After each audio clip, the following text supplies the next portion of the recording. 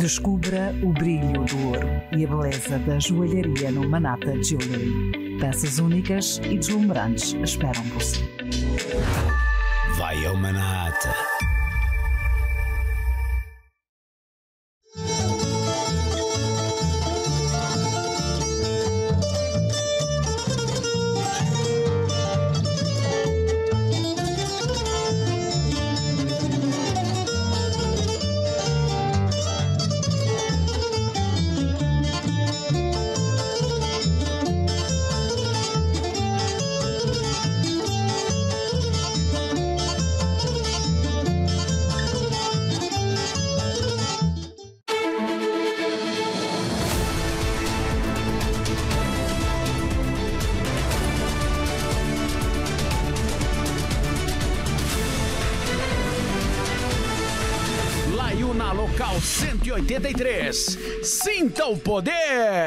Olá, bem-vindos ao Jornal da Noite da FPTV, edição de sexta-feira, 17 de maio, em direto consigo, a partir de Lira, Portugal, em Toronto. A vossa atenção, a rubrica Mercado Hoje, com a assinatura de Pedro Maia, da Maia e Associados.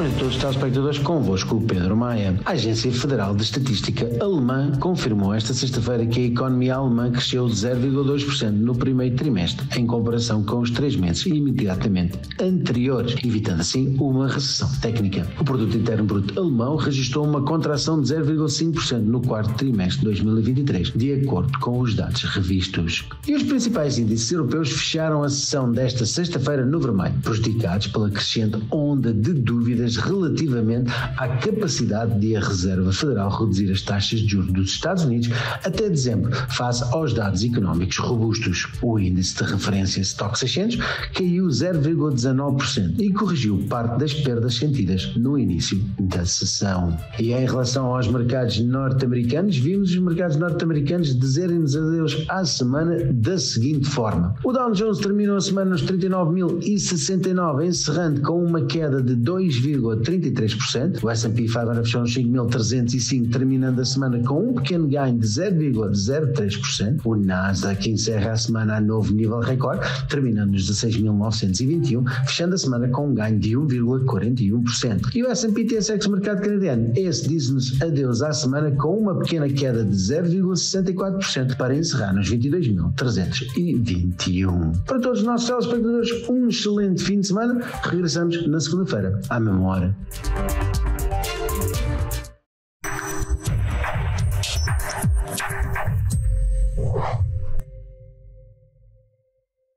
Uma criança morreu vítima de atropelamento por um veículo pesado de reciclagem em Barrie, Ontário. A polícia confirmou a morte no local. A polícia assumiu que uma criança morreu após ter sido atropelada por um caminhão de reciclagem em Barrie, aqui no Ontário. Os investigadores afirmam mesmo que a colisão ocorreu ao final da tarde de ontem, assumindo que o menino de 23 meses foi levado a um hospital local, tendo sido posteriormente transportado de avião para um hospital na área de Toronto. Estava com ferimentos com grande risco de vida e, devido a esses ferimentos, acabou por falecer mesmo no hospital. A investigação sobre o acidente está em andamento e a polícia diz mesmo que quem tiver alguma ocorrência ou tiver visualizado alguma questão relacionada com este acidente deverá contatar as autoridades.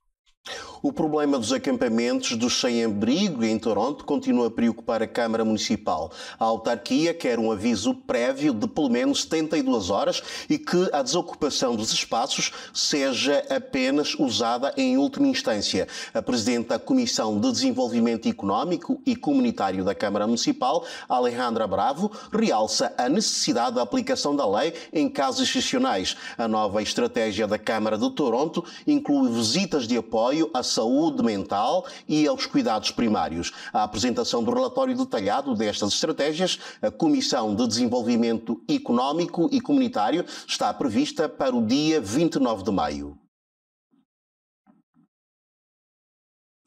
O índice de preços do consumidor desceu 2,7% no mês de abril, em comparação com os 2,9 pontos percentuais registados em março. A informação é da Statista Canadá.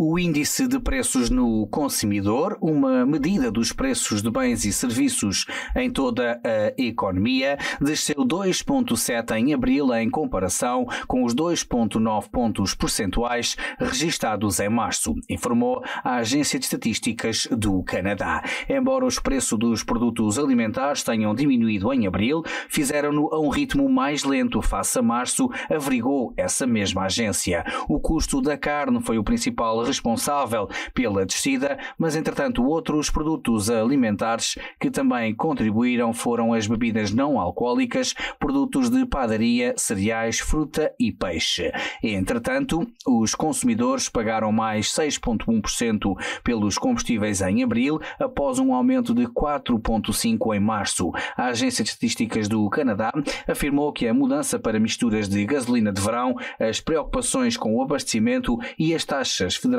mais elevadas sobre o carbono contribuíram para este aumento. Os números de abril marcaram a taxa de inflação mais baixa em três anos, desde os 2,2 em março de 2021. Muitos economistas esperam agora que o Banco do Canadá comece a reduzir as taxas de juro já na próxima divulgação que tem a data marcada para o dia 5 de junho.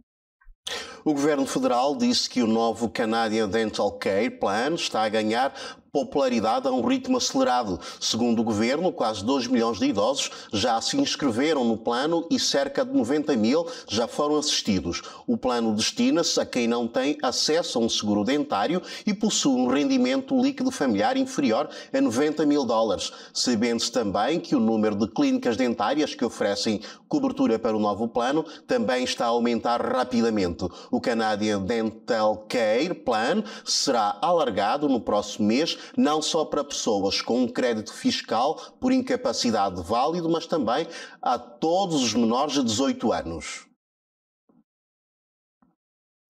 2024 é para a Associação Migrante de Barcelos um ano de festa ao serviço da comunidade. Um dos filhos desta associação comunitária é o Moto Galos. A associação celebrou no passado fim de semana o seu segundo aniversário. A festa teve um programa diversificado. A FPTV está onde está a nossa gente.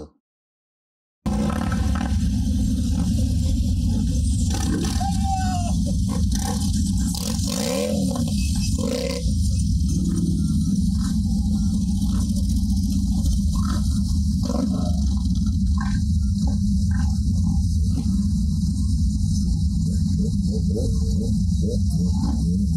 you.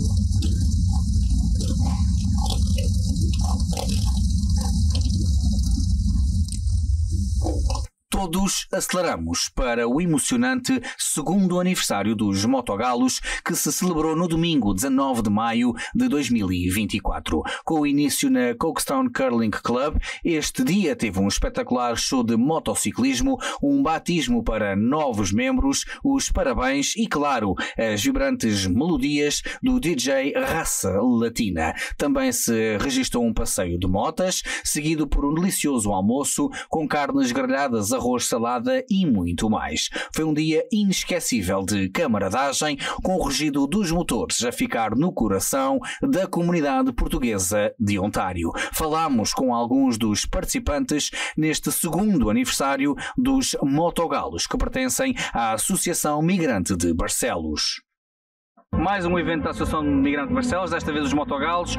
Dois anos de história, como é que olha para isto? Com muito sucesso, muito trabalho. Sem a ajuda do nosso pessoal uh, não podíamos fazer nada e o nosso presidente, Sr. Vítor, mas com muito orgulho. Vamos estar cá para o ano a festejar 3 anos de Motogalos. Se Deus quiser, 3, 4, 5, 10 até aos 20. Agora uma pergunta mais pessoal, como é que nasce a sua paixão pelas motas? Olha, quando eu era nova eu gostava de andar de moto, mas nunca tirei carta, foi mãe nova, não tirei. Agora o meu marido tirou e eu fui atrás dele e adoro. Uh, é, um, it's free. Uh, it's stress. We let our stress out. It's amazing feeling. Marlene Silva é a prova de que as mulheres também gostam de motas uh, e neste caso concretizam um desejo de família, neste caso do seu irmão, que é andar de moto, não é assim? Sim, ele gosta muito de, de ir na moto. E, e, comprou a moto exatamente para satisfazer esta, este gosto? Sim, tenho um trike só para ele, para eu trazer ele fora. Até hum, é a prova viva de que as famílias também se unem. Sim, ele gosta muito disso. E tu a ter um bom tempo. Sim. Como é que olha para estes dois anos dos motogalos? Uau, em primeiro lugar, os parabéns para os nossos amigos do Motogalos, porque realmente ah, andar de moto é, é, sempre um prazer, mas ah, formar um grupo e andar em conjunto às vezes pode se tornar difícil e, portanto, é com muito sacrifício que, que a moto se junta ah, para dar umas voltas e, neste caso, hoje estamos a festejar o segundo ano do Motogalos e, e, e acho e acho que muito bem nós, nós estamos a fazer uh, para juntarmos diferentes grupos que temos na nossa comunidade portuguesa, uh, mas sempre uh, devíamos e, e devemos ser, com certeza, sempre juntos, porque juntos fazemos a força e juntos, unidos, realmente andamos melhor. Só mais uma pergunta, e isto lá para casa. Os motards têm às vezes aquele, aquele preconceito de pessoas que fazem barulho, de pessoas que não respeitam ninguém esta comunidade e os grupos de motards que eu tenho visto e que nossos telespectadores também fazem exatamente o contrário, têm missões solidárias e apoiam a própria comunidade. Sim, sem dúvida nenhuma. Em primeiro lugar, quero refletir o facto que estes grupos são grupos motards de, portanto, de, de, de, riding clubs, portanto, eh, são grupos que uh, andam de moto por prazer, não existe uh, segundas intenções por trás disto. A única intenção que muitas vezes nós temos é ajudar os outros, ajudar outras instituições, ajudar os próprios grupos da nossa comunidade e com isso nós então uh, conseguimos a, a avante. Portanto, é de realçar que a nossa paixão pelas motas é enorme e então assim andarmos em, em junto duas coisas. Juntamos para fazer e para ganhar fundos para doarmos a algumas associações e, e, e outras uh, instituições que necessitam, uh, mas também quando andamos em grupo se torna uh, mais engraçado, se torna, portanto, uma, um dia mais bem passado, digamos assim, com a camaradagem que é sempre um espetáculo estarmos juntos. Vítor Santos, da Associação Migrante Barcelos, também dos Motogalos, dois anos, uma época de festa, novos membros, como é que olha para isto? Olha, uh, eu olho para isto com uma alegria enorme, com, com um sucesso enorme com a abertura do Motogalos uh, há dois anos, já fez mais que dois anos, mas devido ao podermos andar de moto só uh, em maio praticamente, e então decidimos celebrar o aniversário sempre na terceira semana de, de maio. Uh, mas o balanço geral desses dois anos é dois anos de, de sucesso, a entrar novos membros, Uh, como eu sempre disse, a gente não queremos ser grandes, não queremos ser maior que ninguém, queremos ser nós, uh, queremos ser amigos de toda a gente, estamos aqui para, para confraternizar com todos os grupos de motards, sem problemas de nada com ninguém, que é aquilo que a gente gosta, sermos irmãos, como chamamos, como chamamos na parte dos motards, brothers, sermos irmãos, sermos todos uma família, e isso conseguimos ser, porque vês hoje a presença dos outros de motards também na nossa festa, como ontem tivemos no aniversário do Luso, também uma palavra de parabéns para, pelo aniversário deles, teve uma noite fantástica. Ah, e acho que é assim que tem que ser, é assim que, que as coisas têm que começar dentro da comunidade portuguesa a sermos mais unidos. Eu estou a falar na parte das associações e dos clubes, também se reverem um bocadinho o que fazem os grupos motardes, uh, o apoio que há entre todos. Tome nota, na próxima segunda-feira você terá mais pormenores deste evento aqui no Jornal da Noite da EFP-TV, um evento que comemorou o segundo aniversário dos Motogalos. Um pouco por todo o Canadá vive-se a tradição do culto em louvor do Divino Espírito Santo. As tradições na diáspora são vividas com grande intensidade. Do Winnipeg chega-nos mais uma reportagem que trata a força da fé do culto ao Divino Espírito Santo. A festa do Divino Espírito Santo em Winnipeg, Manitoba, Canadá, decorreu nos meados de maio, na paróquia da Imaculada Conceição. Foi o nosso prazer em comparecer para conversar com os mordomos, David e Ana Brilhante, e a comissão organizadora.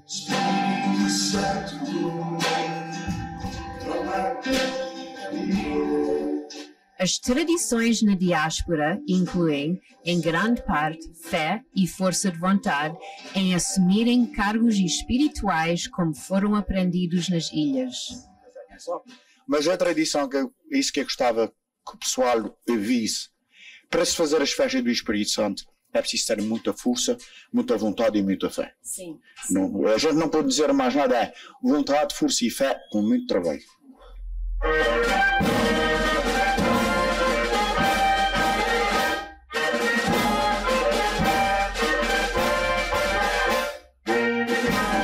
O padre André Lico benzou a comida e rezou a missa e coroou vários fiéis da comunidade, incluindo a família dos mordomos, que dedicaram-se com vontade, força e fé em homenagem aos queridos antepassados. Após a missa e coroações, houve procissão nas ruas à beira da paróquia. Acompanhados por a bem conhecida Banda Lira de Fátima, e estavam presentes representantes das casas culturais do Winnipeg, incluindo o presidente da Casa dos Açores e o honorário cônsul português em Winnipeg.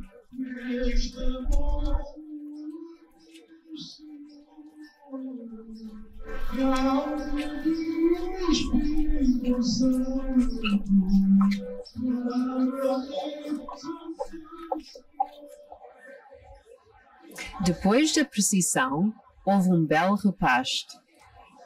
Foi servido no salão da paróquia, onde comeram as tradicionais sopas do Espírito Santo, nesta ocasião preparadas à maneira do pico, e também outras comidas preparadas igualmente à nossa maneira.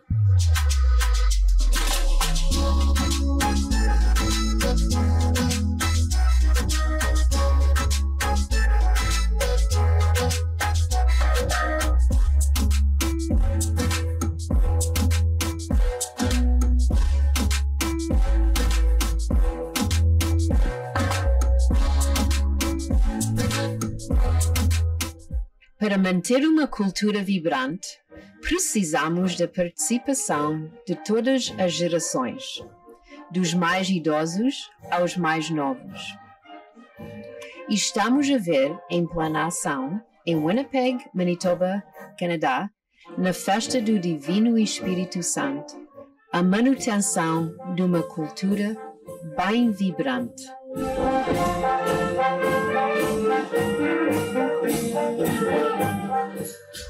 O artista internacional Henrique Cipriano abrilhantou a noite. Não há gente como a gente, cantou ele. Uma grande verdade. Por FPTV, em Winnipeg, sou Mia Sally Correia. Winnipeg cultua Divino Espírito Santo com bastante alegria e emoção. Vamos à primeira pausa do seu jornal, não saia daí, voltamos já a seguir.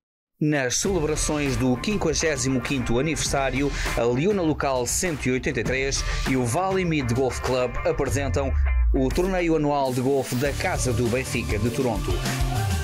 Quarta-feira, dia 12 de junho. A edição de 2024 já está completamente esgotada. A Casa do Benfica agradece a todos os seus patrocinadores. Juntos para mais um ano de sucesso. Desde 1968, a Caldense Bakery continua a ser sinónimo de tradição e qualidade, garantindo o autêntico sabor dos deliciosos pastéis de nata. Aprecie também a frescura de uma variedade de produtos em toda a grande área de Toronto e arredores.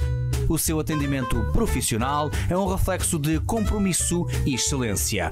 O melhor da tradição portuguesa está na Caldense Bakery. New Canadian Lumber está a celebrar o seu 50 aniversário. Tudo começou em 1974 com um negócio familiar que construiu a sua reputação ao fornecer uma vasta seleção de produtos com uma qualidade incomparável, assim como um serviço de excelência e atenção ao cliente ao longo de todos estes anos de história. Junte-se dia 1 de junho para celebrar com um churrasco de aniversário e aproveite todas as promoções. New Canadian Lumber, 50 anos a construir junto de si.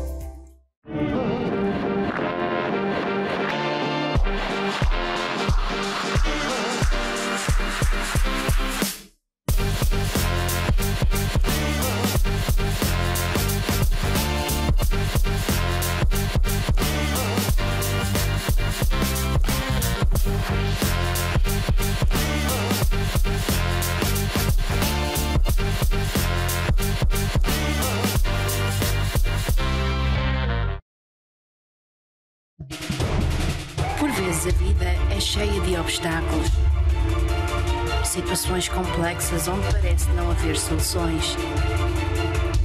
Estamos aqui para o ajudar. Falamos consigo de um modo transparente para o ajudar a encontrar a solução. Produtos únicos e serviços personalizados. Queremos que se preocupe apenas em viver a sua vida.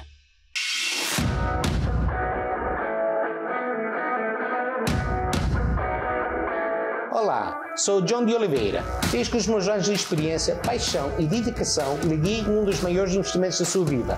O processo começa e termina comigo. 46 727 6790.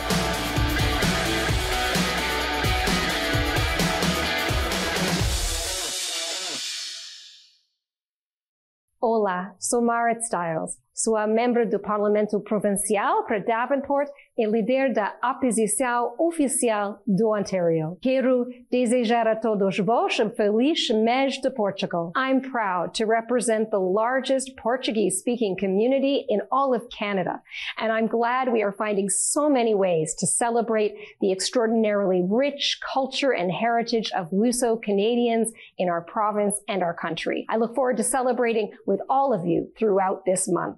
Renovados votos de boa noite, estou de volta para dar-lhe conta que Portugal, o Espírito, o Povo, a Terra é o nome da exposição fotográfica que será inaugurada dia 27 de maio na Shaw Gallery, no número 978 da Queen Street West, em Toronto. A exposição vai estar aberta ao público até o dia 2 de junho. O jornalista Rómulo Ávila preenche já a seguir o espaço entrevista.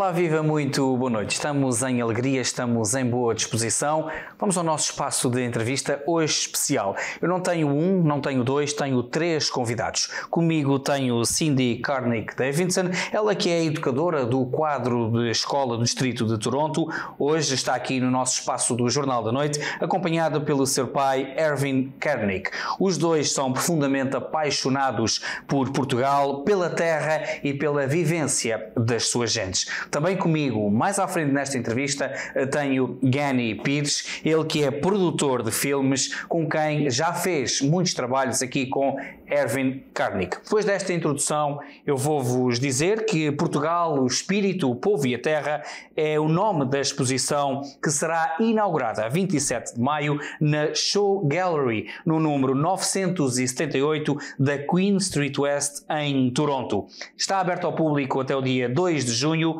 e agora vamos falar de Portugal e esta que é uma exposição fotográfica que a FPTV faz questão de apoiar. I will start with you, Erwin Karnik, uh, the author of the photographs and the, the one uh, passion for Portugal. What uh, did your work take you and what did you see in your eyes? When I uh, went around Portugal, I tried to make Portugal as if it were my own country. And I tried to see people as the way they lived, and they lived naturally, and they did things naturally.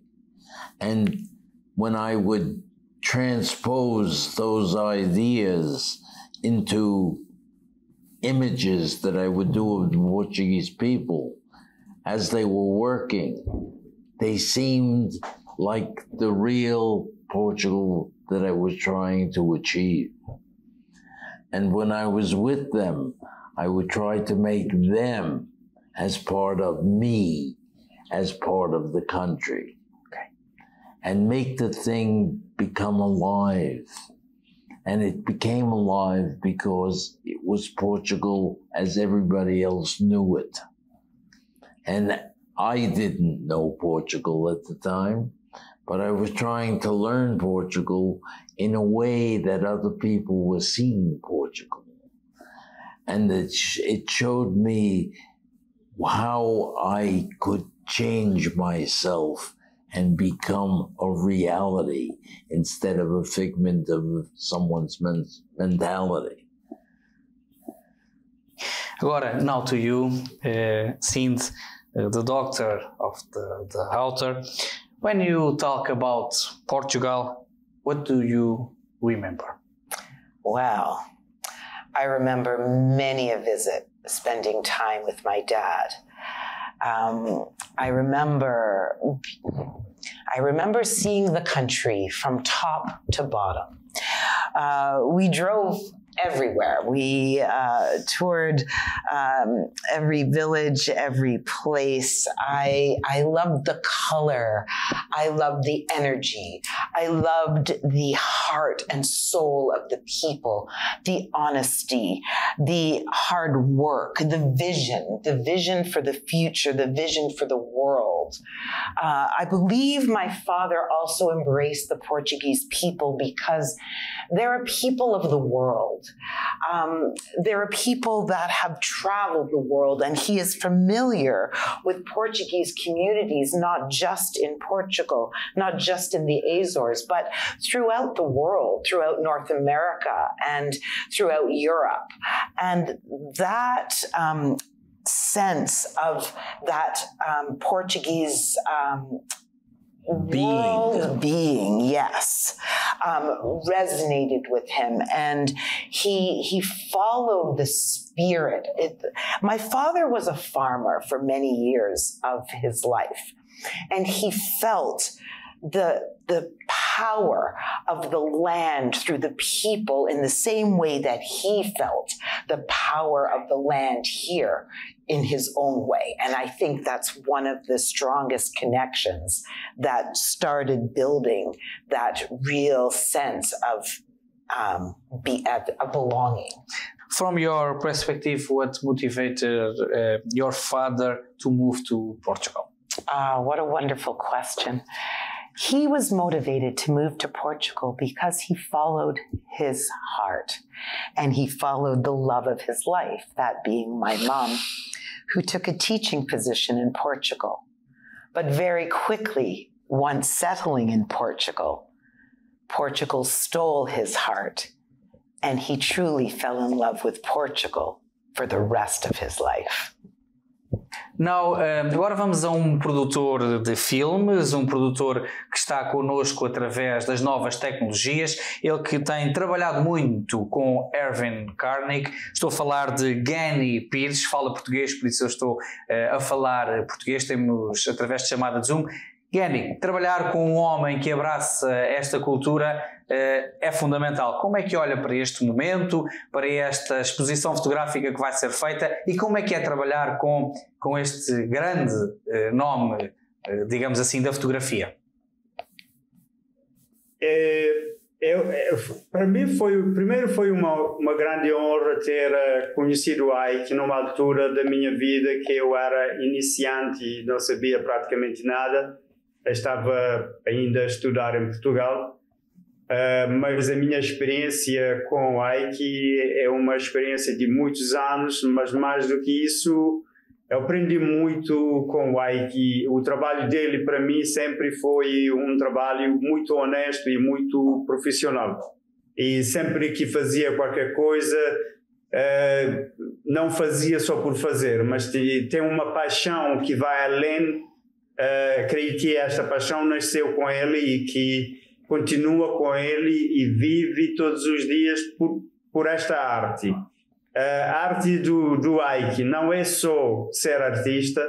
Uh, para mim, aprendi com ele como se sobrevive como um artista.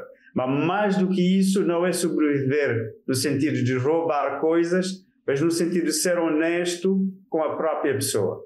Isso ajudou muito, muito na minha carreira. É claro que hoje tenho um, uma outra vida é, diferente de 21 anos ou 22 anos quando encontrei com ele, mas uh, são coisas que levo comigo para, para, para o resto da minha vida. E este não tem preço, esta amizade, este amor que ele nutre pela minha pessoa e vice-versa da minha parte para ele também. Uh, este compromisso com esta arte, uh, não só a fotografia, porque há que primeiro de ser cineasta e primeiro de ser fotógrafo é um filósofo, é um homem que sabe da psicologia, sabe de tudo e pode definitivamente, uh, para mim foi e continua a ser a melhor universidade que, uh, que pude ter oportunidade de estar ou de conviver nesse sentido. Há várias coisas, várias memórias, vários trabalhos que fizemos, várias viagens, sobretudo. E tudo isso é muito, muito valioso para uma pessoa como, como eu, uma pessoa de África, de Cabo Verde, e que quer descobrir novas coisas e encontra Aiki, um professor que, como um, como poucos, ou para mim, único na vida. E então, como já disse, eh, foi uma experiência, continua a ser uma experiência muito valiosa. Eu, a última vez que encontrei com o Ike foi em São Francisco.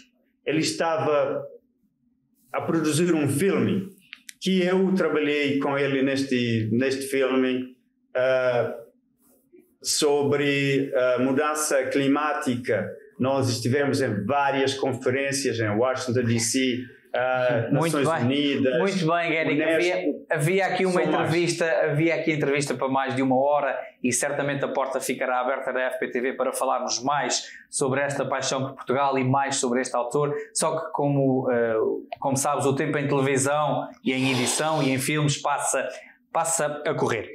Uh, now to you in 13 seconds, please. One message for the Portuguese community. A message. Your community, your culture, your people are, are bright, are heartfelt, are hardworking, are honorable, are honest, are beautiful, and have so much that they have given and continue to give to the world as a whole. Thank you. Thank you, Gani. Thank you, Erwin. Thank you. Thank you, Sind. Obrigado aí em casa por ficarem com este espaço uh, da nossa entrevista. Hoje, um espaço especial dedicado a alguém que tem uma exposição que se chama Portugal, o Espírito, o Povo e a Terra. Recordo que será inaugurada no dia 27 de maio na Show Gallery, no número 978 da Queen Street West, em Toronto. A porta fica sempre aberta porque onde há paixão por Portugal, há também FPTV. Obrigado. Foi o nosso espaço de entrevista.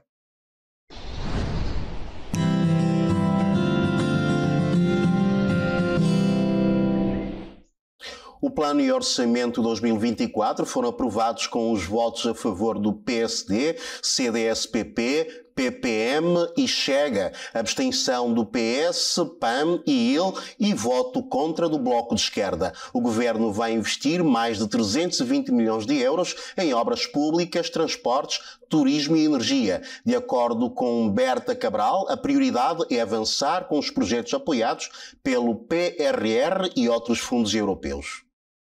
Nenhum outro departamento do governo tem tanto para investir. No total, são 321 milhões de euros para transportes, turismo, energia, reabilitações e novas construções, sempre com o Plano de Recuperação e Resiliência, o PRR, como linha orientadora. A proposta de investimento que estruturamos dá sequência a diversas medidas e obras estruturantes que terão um impacto direto em importantes objetivos económicos na região incluindo o desenvolvimento sustentável do turismo, a mobilidade dos açorianos, a descarbonização da economia e a preparação de infraestruturas fundamentais. Aproveitar o dinheiro da Europa e avançar com obras em escolas e hospitais, e nos portos de Ponta Delgada, Vila do Porto, Praia da Vitória e Laje das Flores, cuja construção começa este ano. Aerogares e aeroportos também serão alvo de intervenção, como acontece na Graciosa e no futuro no Pico. Nos transportes, o governo diz que já mudou o paradigma, a oposição tem queixas.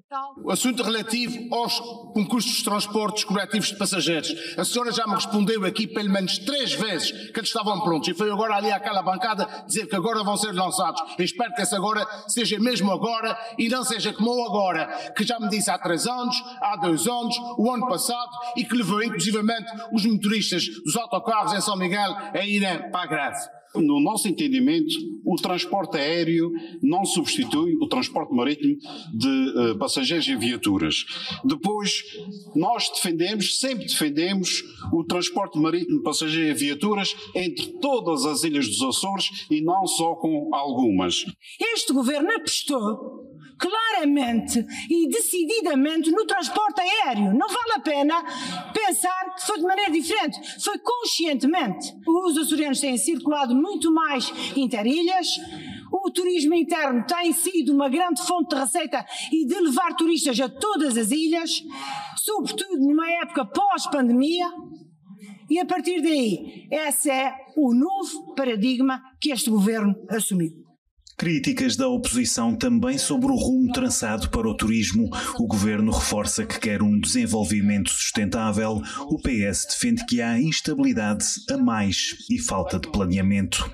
Este plano e orçamento não serve os açorianos do ponto de vista turístico e da formação porque não promove a qualificação e dinamização do setor, não assegura e, acima de tudo, a mitigação da sazonalidade e não reforça a sustentabilidade do nosso destino. Não servia em novembro, não serve agora. Em 2024, o Executivo vai investir 32 milhões de euros na eficácia energética e energias renováveis, 65 milhões no transporte aéreo e marítimo, 8 milhões e meio na reabilitação de estradas e 11 milhões de euros em construções escolares, tudo através de uma secretaria que vai coordenar todas as obras públicas em execução na região. Olá, eu sou o Jaco Oliveira, Business Manager da Liuna Ontario Provincial District Council e do local 183. Estamos extremamente felizes para estar mais uma vez a celebrar o Dia de Portugal. Em nome dos nossos executivos, representantes e funcionários, quero desejar a todos os membros da Liuna e às suas famílias, bem como todos os luso-canadianos e à comunidade em geral, um feliz Dia de Portugal. Laiuna Local 183. Sinta o poder! Olá, sou o Manuel Souza da Remax West. Contacte-me, estou aqui para o servir. Para a maior compra da sua vida é preciso alguém confiante e experiente que trate de tudo, desde o início até ao fim. O seu sonho começa hoje.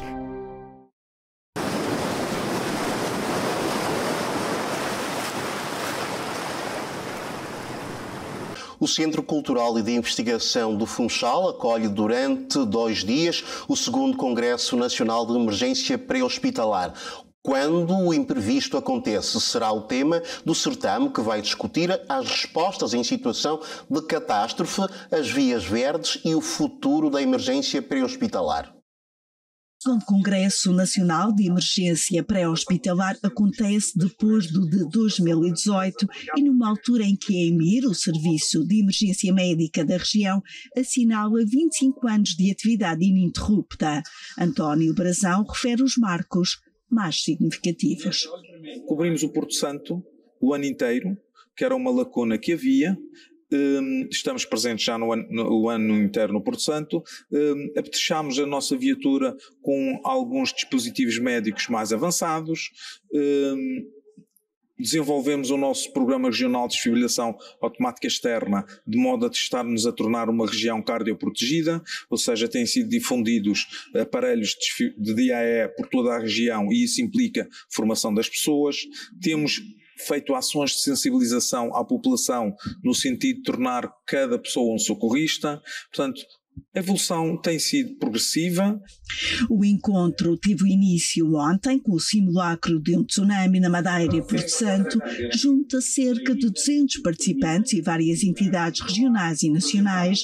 Ana Correia, responsável pelo Sistema Integrado de Emergência Médica do INEM, destacou a disponibilidade de cooperação para com a Madeira. No imprevisto, o que é que acontece? Existe mais vítimas, não é? Isto tra uh, trazendo para a parte de saúde, do que os recursos. E é isso que nós tentamos trazer, recursos que sejam necessários, porque houve sobrecarga dado ao incidente ou ao evento que aconteceu. Então nós trazemos recursos para poder ajudar. Temos várias respostas e uma das respostas que estava aqui projetada é o nosso Emergency Medical Team, o nosso PTMT, que é no fundo uma capacidade, um, um hospital que vem e pode ser montado de uma maneira móvel, poder chegar aqui e dar resposta por causa do evento catastrófico que aconteceu, em que há mais, seja, há mais vítimas que, que, que aqui haja capacidade de responder. O Congresso procura validar o plano de resposta de emergência da Proteção Civil da região autónoma da Madeira e projetar o futuro em articulação com as diversas regiões.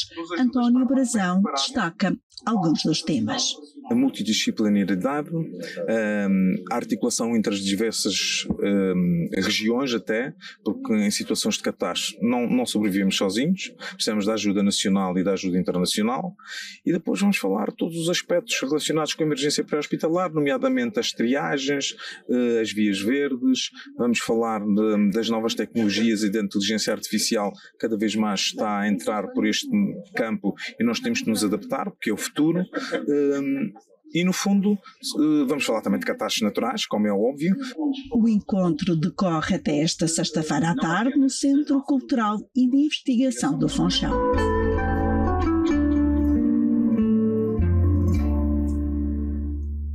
O Seixal tem uma história ligada ao bacalhau, agora a um festival. A ideia é inovar. Pois vamos ver se todos vocês também já descobriram ou não quais são as partes do bacalhau que lá estão. Eu sei que alguns já são bastante conhecedores e que até já devoram o bacalhau. O desafio é tentar descobrir qual é a parte do bacalhau utilizada na confecção de cada prato.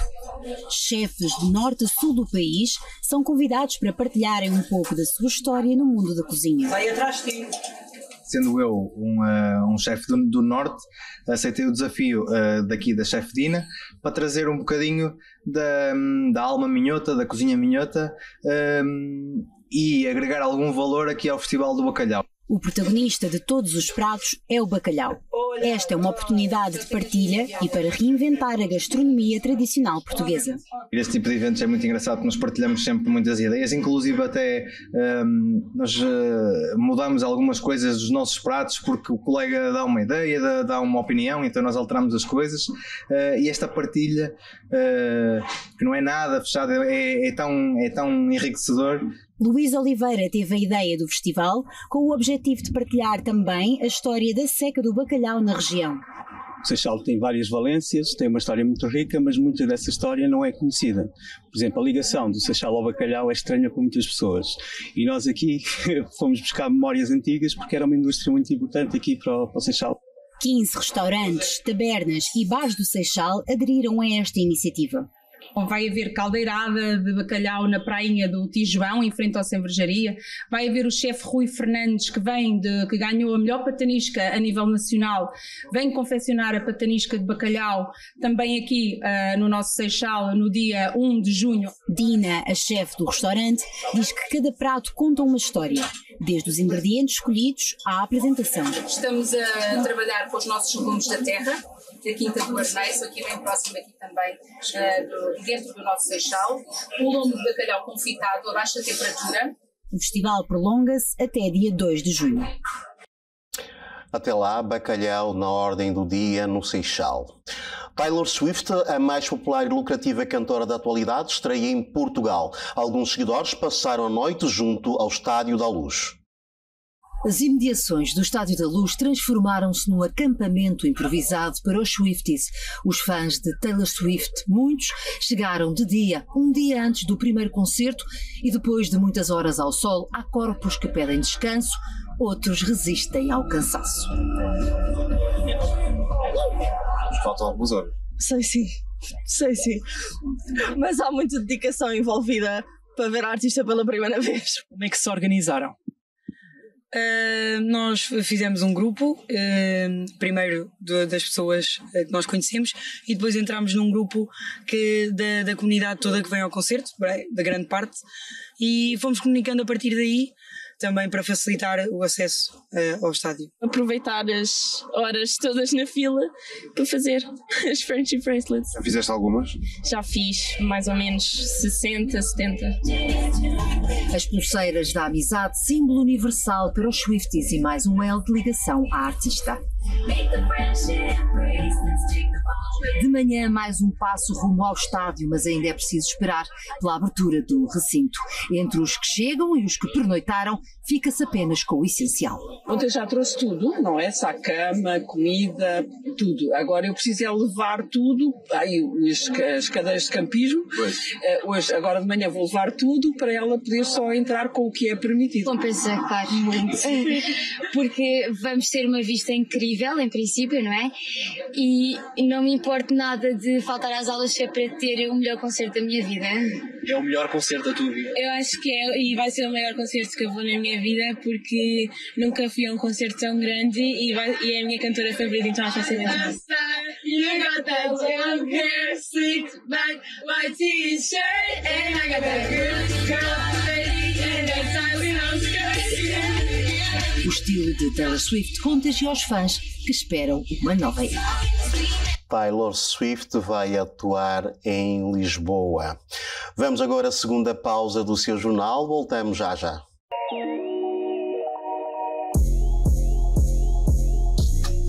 Madeira de qualidade é no Censo Group. Disponha de um atendimento profissional e especializado no fornecimento de equipamentos, ferramentas e materiais. Um bom serviço e a tranquilidade oferecida aos seus clientes é o foco do Censo Group. Com todas as soluções para proprietários, gerentes, empreiteiros, construtores e muito mais. Ligue já ou visite censogroup.ca.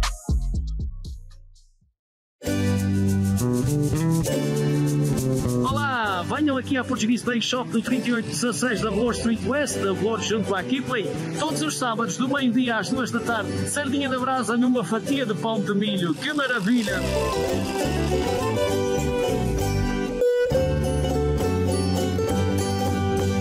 E um pastel de nata com café. Hum. Quando escolher um seguro residencial, é necessário esclarecer alguns fatores que irão determinar o valor da sua apólice. Os detalhes do imóvel. As seguradoras podem considerar o valor e a idade do seu imóvel, além das reparações que forem feitas.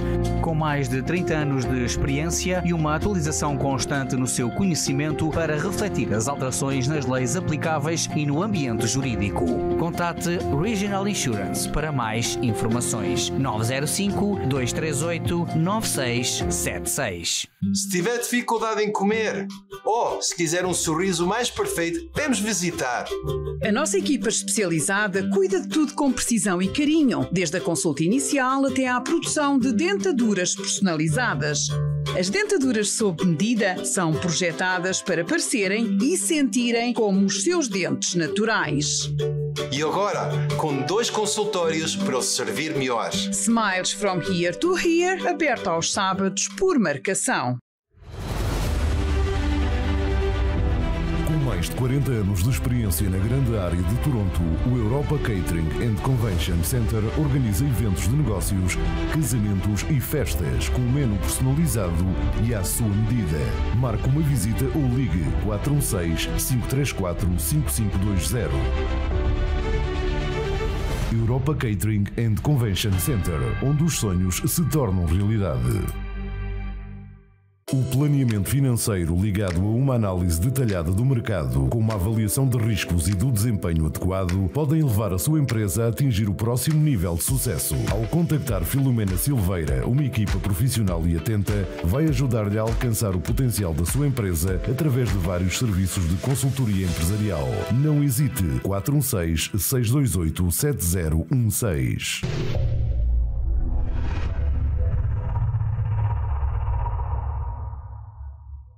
A taxa de desemprego subiu 9,1% no primeiro trimestre deste ano em Angola, fixando-se em 32,4%. Os jovens são os mais atingidos pela falta de emprego, com 3,7 milhões de desempregados.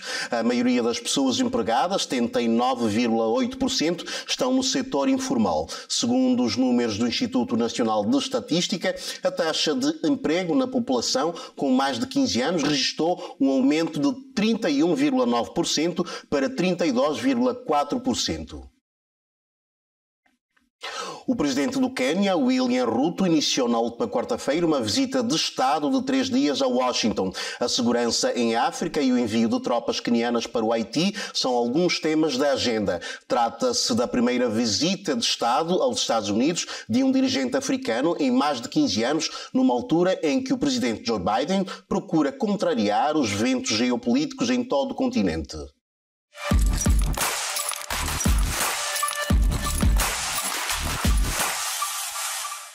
Porto e Sporting jogam no próximo domingo para a final da Taça de Portugal. O encontro vai ser marcado com várias despedidas.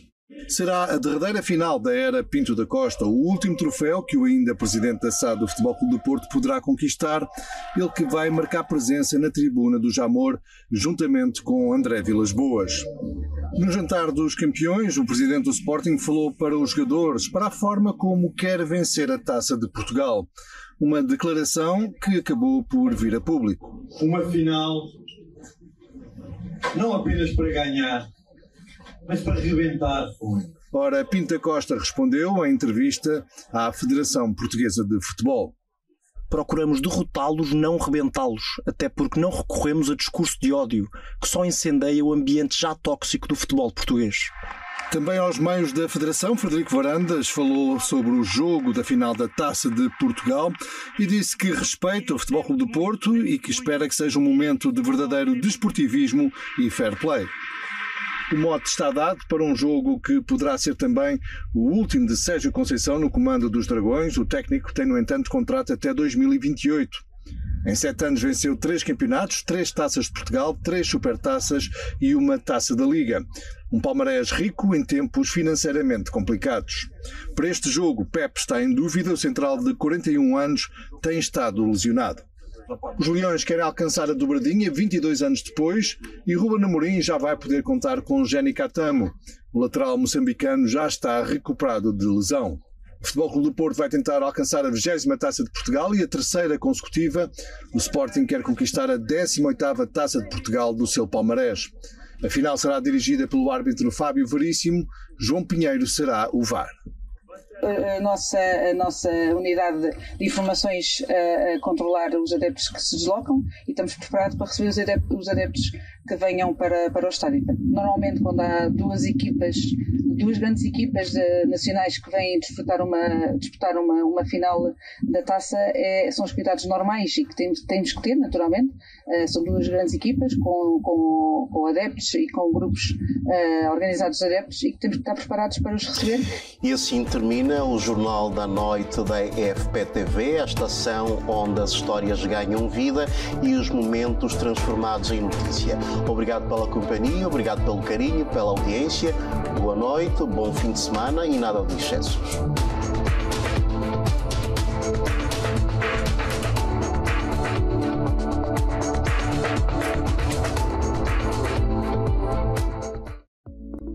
Agora vamos ver a previsão do tempo para amanhã. Nas grandes cidades do Canadá e a média do preço da gasolina para a grande área de Toronto. Amanhã para Toronto a previsão é de risco de trovoadas, onde se fará sentir 24 graus de máxima. As temperaturas deverão baixar para 13 graus durante a noite. Em St. John's prevê-se céu nublado e esperam-se 13 graus de temperatura máxima e 6 de mínima. Em Charlottetown a previsão é da possibilidade de aguaceiros e são esperadas temperaturas entre os 16 e os 7 graus. Para Fredericton prevê-se céu pouco nublado, com temperaturas que deverão registrar os 22 graus de máximas e 10 de mínima. Segue-se Halifax, onde a previsão é de céu pouco nublado e são esperadas temperaturas entre os 21 e os 9 graus. Em Quebec City esperam-se 20 graus de temperatura máxima e 11 de mínima, com o céu esse a estar pouco nublado. Montreal deverá registrar amanhã temperaturas entre os 22 e os 14 graus e a previsão é de céu pouco nublado. Para Otava, a previsão é da possibilidade de aguaceiros e prevê-se temperaturas máximas de 21 graus e 13 graus de mínima.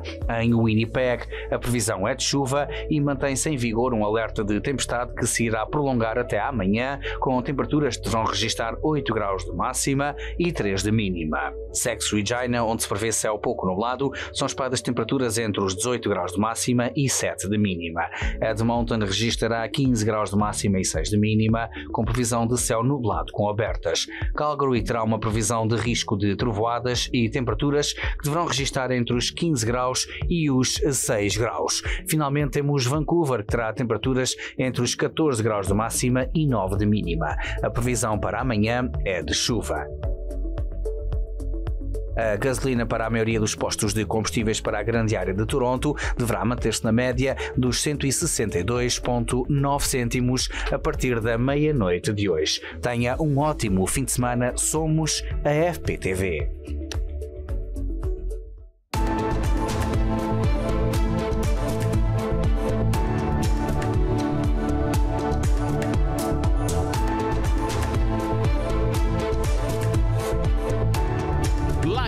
Local 183. Sinta o poder!